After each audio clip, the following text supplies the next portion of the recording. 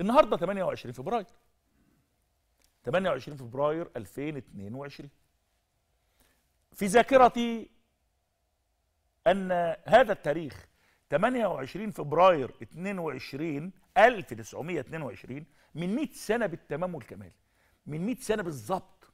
قرن مضى ونهايته النهارده. 28 فبراير 1922 صدر تصريح اسمه تصريح 28 فبراير كلنا عارفينه في كتب التاريخ. هذا التصريح كانت باختصار شديد. كانت مصر محتلة احتلال بريطانيا محتلة مصر 1882 والحركة القومية والحركة الوطنية عايزين نطرد المستعمر عايزين عايزين. وكان في البداية في مستعمرين العثمانيين والبريطانيين. لكن العثمانيين كان في حالة هامشية. فكان الحركة الوطنية في مصر كل الناس في مصر عرابي وبعديه فريد وكل دول ومصطفى كامل وغيره عايزين نحرر مصر من الاحتلال البريطاني. قامت الحرب العالمية 1914 بسرعة بريطانيا خافت راحت عاملة الحماية على مصر فرضت الحماية على مصر. انتصرت بريطانيا مع الحلفاء على تركيا اللي الدولة العثمانية وعلى النمسا وعلى ألمانيا. وصلوا 1918 إلى مؤتمر باريس عشان يوزعوا التركة بقى بتاعه المنتصرين. بسرعة هنا باختصار شديد برضه سعد زغلول طلب إنه يروح مؤتمر الصلح في باريس علشان يطلب استقلال الدولة المصرية. رفضت بريطانيا سفر سعد الشعب المصري عمل ثورة 19 اضطرت بريطانيا توافق على سفر سعد. قبل ما يسافر كانوا موافقين الدول المنتصرة على الحماية البريطانية على مصر وفوتوا الفرصة على سعد. رجع سعد مع الشعب المصري تم نفيه للمرة الثانية أول مرة نفوه لمالطا ثاني مرة نفوه لجزيرة سيشل لأنه سعد زغلول ورفاقه رفضوا كل المماطلات البريطانية في هذا التوقيت. خليني أقول لحضرتك وصلنا إلى يوم 28 فبراير 1922 ثورة 19 قبلها بسنتين. أحد نتاج ثورة 19 هذا التصريح.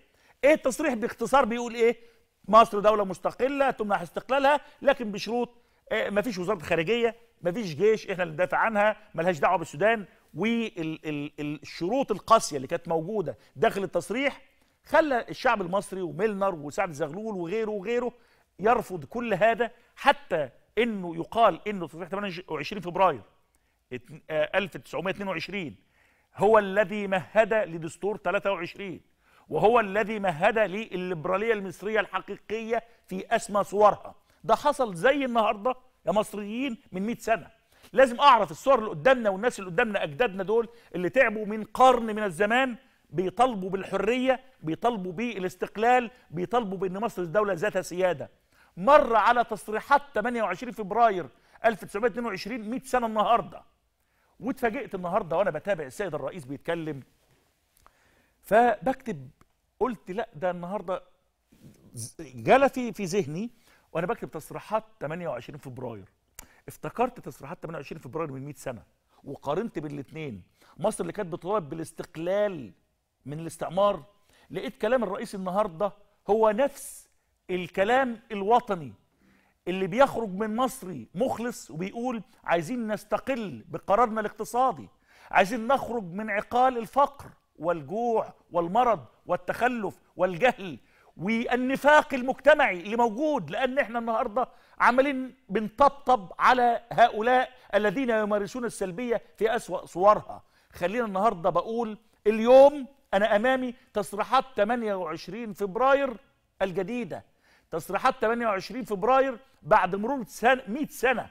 بعد مرور 100 سنة على تصريحات 28 فبراير القديمة النهارده الرئيس بيجدد الوعي الوطني من خلال تصريحاته النهارده اللي هتابعها مع حضراتكم الرئيس النهارده وكأنه بي بي بيدفع الناس ويستنهض همم الناس إلى العمل على التحرر الحقيقي من قيود داخلنا مشاكلنا إحنا اللي عارفينها. فأنا أرى ان تصريحات 28 فبراير التي مر عليها 100 عام النهارده بتأخذ منحى جديد في العمل الوطني.